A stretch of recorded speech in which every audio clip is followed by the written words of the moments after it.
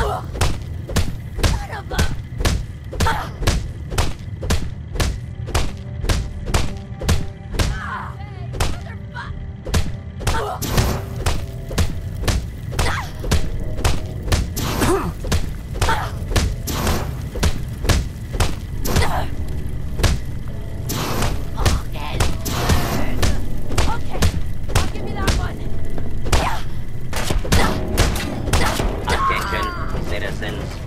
You may now resume your normal activities.